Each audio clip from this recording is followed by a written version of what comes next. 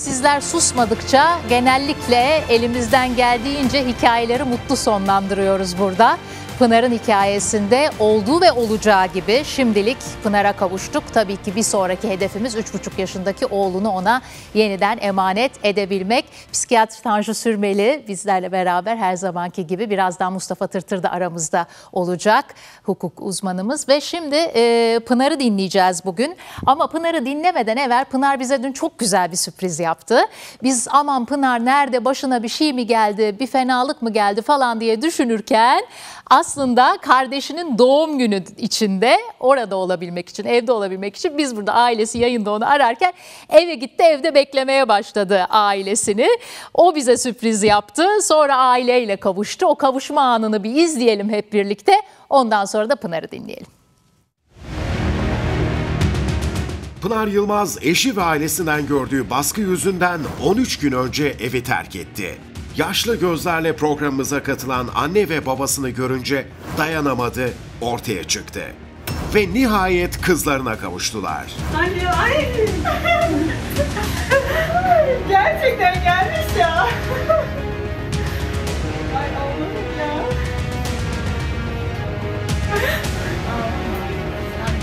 Duygusal anlar yaşandı. Ay Allah hepinizden razı olsun. Gözyaşları bu sefer mutluluktan döküldü. Çok güzel bir duyguymuş. Allah razı olsun hepinizden. Kızıma sonuna kadar sahip çıkacağım. Allah razı olsun. Ya böyle olmaması gerekiyordu ama işte. Oldu ne yapalım evlat. Her zaman ben sana bakmak zorundayım yavrum. Sen ne olursan ol. Kim ne derse desin hiç sorun değil. Evlat benim evlat. Bu olay bize ders oldu. Kendisinin de suçu yok yine hata. Bütün hata bende. Göndermeyecek. Çocuğu göndermeyecektik işte. Gönderdik. Bu da bize bir ders oldu ya. Daha da tövbe olsun. Bitti. Babamın yeri başka. Pınar annene sarıldın. İyiydin. Babaya sarılınca başladın ağlamaya. O babam çünkü. Sen neler söyleyeceksin bugün için? Bir anlık sürpriz yapmışsın. Güzel bir sürpriz oldu. Evet. Gidişin kötüydü biraz ama Gidişim çok kötü. güzel oldu Aynen. yine. Pınar şimdi dört gözle oğluna kavuşmayı bekliyor. Evet şimdi Pınar ve annesi stüdyomuzda. Hoş geldin Pınar. Hoş buldum. Ne iyi ettin de geldin, geri geldin. Evet. Şimdi aslında bugün ben babayı da görmek istiyordum burada ama işi var herhalde. Onun da işinde olması, işinin başında olması gerekiyor. Fakat e, az önce VTR'de dikkatinizi çekmiştir. E, annesine de sarılıyor kavuştuklarında, babaya da sarılıyor ama babaya sarılınca başlıyor ağlamaya, gözyaşı dökmeye. Ondan sonra muhabir arkadaşımız Esra sorduğu zaman o babam çünkü diyor. Ben hep burada onu söylüyorum. Siyami Bey de burada olsaydı onu bak gene gözleri doldu Pınar'ın baba deyince hakikaten bu kız evlatların babayla olan ilişkisi hayatının geri kalanındaki bütün ilişki durumlarını belirliyor. Ee, baba burada hep pişmanlığını ifade etti. Keşke kızımı geri göndermeseydim ona sahip çıksaydım dedi. Ben hep şunu söylüyorum hocam babalar kızlarının e, fırtınaya kapıldıklarında sığınacakları liman olmalı. Yani sığınacakları e, liman aramalarına sebep olacak fırtına değil.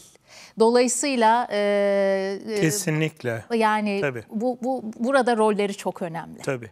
E, baba en güvenli olan olması lazım. Onunla kolayca konuşabilmesi lazım. iletişim kurabilmesi lazım. Ama ne yazık ki e, babalar kız çocuklarını dinlemektense e, kızgınlıkla hareket etmeyi seçebiliyorlar. Halbuki dinlerlerse, ulaşırlarsa, göz kontağı kurarlarsa, sorarlarsa bir dertleri, bir sıkıntı var mı? E, genelde de anneler e, herhangi bir sıkıntı olduğunda babadan saklıyorlar. Baba kızar diye. Burada da sağlıklı düşünmüyor anneler. O zaman e, annelerin de bunu değiştirmesi lazım. Yani hem annenin hem babanın değiştirmesi lazım. Pınar'ım biz seni dinlemek istiyoruz. Ee, ne yaşadın orada? Ee, şimdi bak ben seni şöyle görüyorum. Orada tabii e, daha önce e, kocanın evindeyken, kocanın ailesinin evindeyken hem görümcenden hem kayınvalidenden hem kocandan psikolojik şiddet gördün. Şimdi hakikaten seni böyle e, vücut dili olarak da beden dili olarak da daha rahatlamış görüyorum bir kere her şeyden önce. Bir kendine gelmişsin. Önce yuvana gelmişsin sonra kendine gelmişsin. Aynen. Şükürler Önce yuva olsun. sonra kendim.